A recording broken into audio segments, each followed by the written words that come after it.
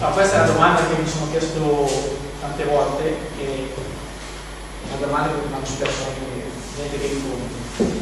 Diciamo che è una, una frase molto da fantascienza ovviamente, e anche se in realtà poi alla fine un briciolo di verità può nascondere questo tipo di Innanzitutto volevo fare due considerazioni prima di entrare in questo tipo di esperimento, nel senso che eh, non ho purtroppo utilizzato degli strumenti scientifici per fare questo tipo di test, ma eh, ho valutato un po' secondo le esperienze di coltivazione che ho avuto in questi anni, per cui tutto ciò che emerge da questo diciamo, esperimento sono dei miei pensieri, per cui tali vanno presi, nel senso non usciamo da questa stanza dicendo poi abbiamo visto una pianta che mangia gli uomini, si mangia la resta tutti quanti.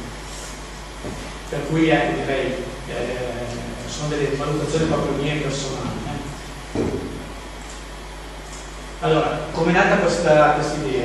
Eh, semplicemente i naviganti di vita che sono imbattuti in una pagina scritta da Barry Rai, non so se qualcuno di voi già lo conosce, ha un bellissimo sito, è un botanico americano, molto, molto esperto in piante granulare, ha appunto fatto questo sito che è molto bello e che bello e ha scritto un articolo mentre era, era, era aperto una, una malattia che aveva come patologia il distaccamento della pelle, aveva una malattia per cui gli si staccava la pelle. Allora lui un po' così bizzarro aveva pensato di eh, prendere un lembo di, di pelle e vedere se la riconosciuta era in grado di digerire la, la terra. Ed è arrivato alla conclusione anche lui, senza strumentazioni scientifiche, a vedere che in effetti la pelle, da come si era vista all'apertura della tappa, era stata sicur sicuramente, probabilmente digerita. Al che siccome mi aveva molto incuriosito perché erano le cose un po' cose che mi piacciono tanto, se no sarei qua, e niente, ho provato a ripetere questo esperimento, però diciamo poi spingendomi un po' più oltre quello dove si era fermato il nostro amico Bellas. Per cui ho iniziato un tiro dalla pelle. Allora, il problema principale era trovare la pelle, perché il nostro amico aveva una malattia sfortunatamente per lui, noi, io fortunatamente no, e non potevo certo andare in giro a cercare pelle umana, se non mi avrebbero messo in vedere e allora niente, mi è venuto in mente che però ogni tanto a me capita tra tutti di avere la famosa pellicina che gira intorno per cui ho teso pazientemente che ne crescesse una l'ho curata per bene per qualche settimana con solito perché male muore ma non si sapete uno lo taglia subito io invece no, no lo tengo. E quindi ho trovato perché è arrivata la dimensione tale che poteva permettere di iniziare questo, questo esperimento.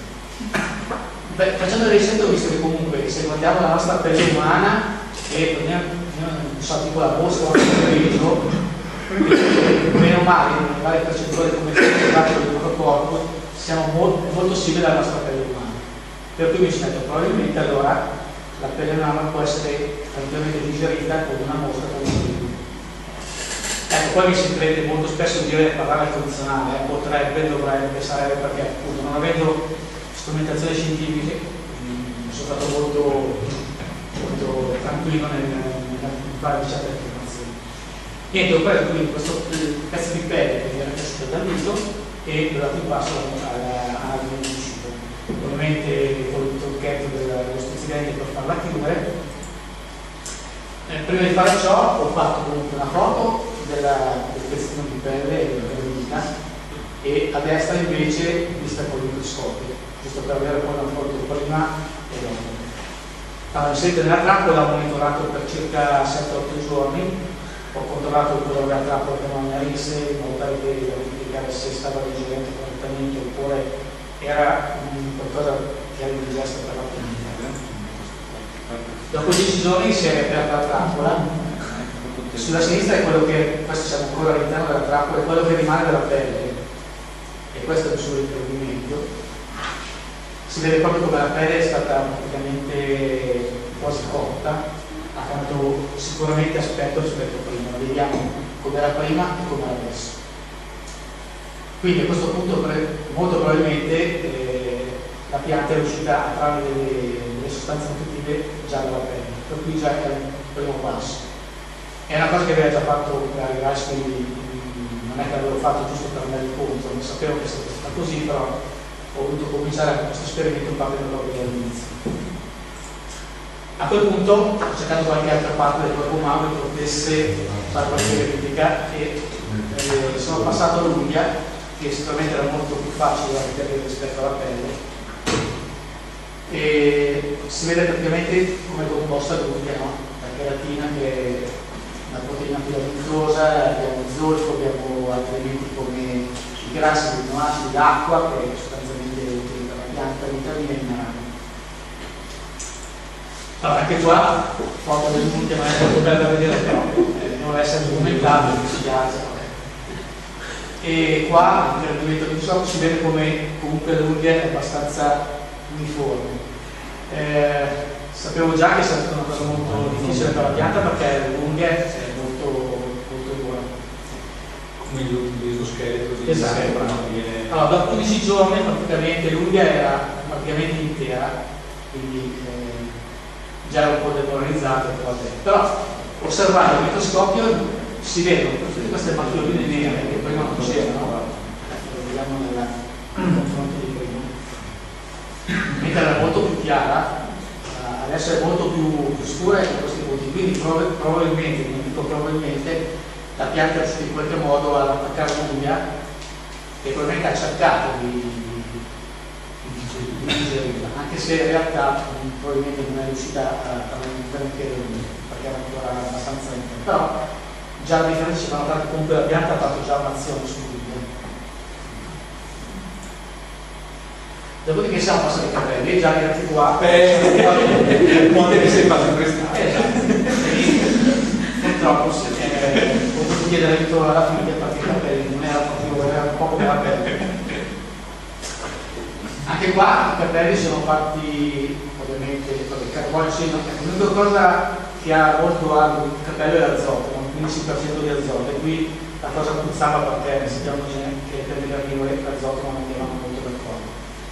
Però facciamo lo stesso, così almeno giusto per, per competenza. Anche qua i capelli invertiti sono prima e al microscopio si vedono come sono eh, diciamo, trasparenti, abbastanza pulito, abbastanza bene. Anche qua abbiamo misurato la, la trappola da 9 giorni si è riaperta e in effetti il capello era più, più stopposo rispetto a prima che era molto più solido e se vediamo al microscopio anche qua si è molto più scurito come se in effetti avesse comunque agito il sottigaster si avrebbe agito sul capello se vediamo la fronte e dopo notiamo già la differenza come era prima e come adesso quindi probabilmente forse un po' più di lunga e sicuramente meno della pelle, la pianta deve essere più sul, sul terreno.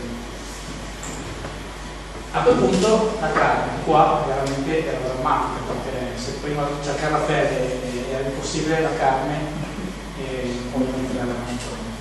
Però c'è in tutto questo il famoso professore Reichenberg che diceva praticamente ha fatto un suo trattato nel quale diceva che la carne di maiale è praticamente molto simile alla carne umana a livello strutturale e diciamo che è un'identità al 98%. Allora mi detto, vabbè, se è uguale al 98% non sarà quel 2% che la pianta non capisce. Ho spiegato un po' come potesse essere trovata la carne di suino, il 68% di acqua, quindi era molto abbondante di acqua, abbastanza povera di grassi, quindi poteva andare bene, qualche proteina, poi i restanti altri elementi. Anche qua prendo allora un pezzo di carne di maiale e non si riprende la scatola. Qui ovviamente fatto la solita foto ingrandita e al microscopio.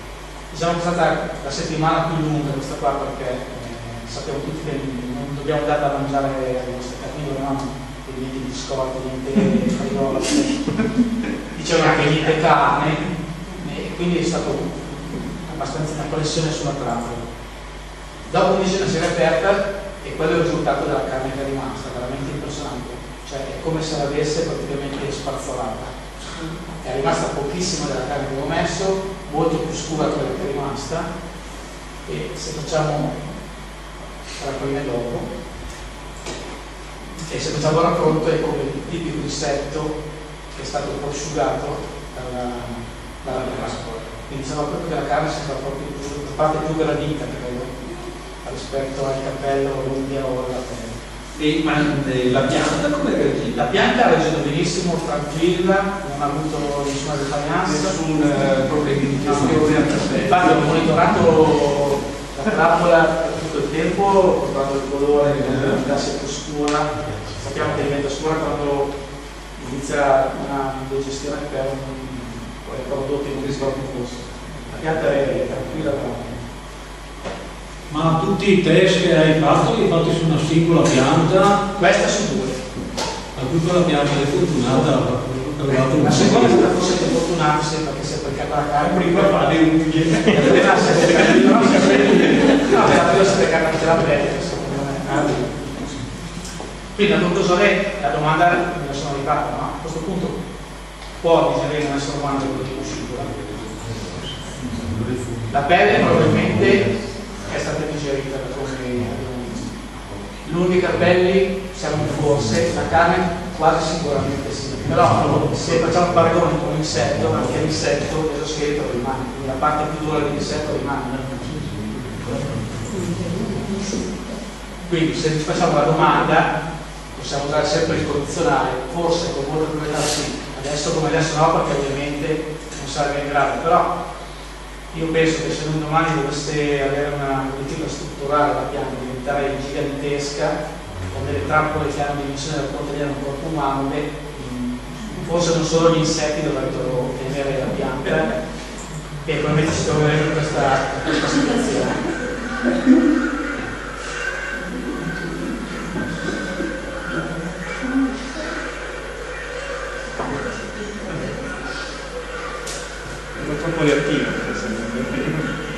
È un'evoluzione, magari è più reattivo. Io avrei combinato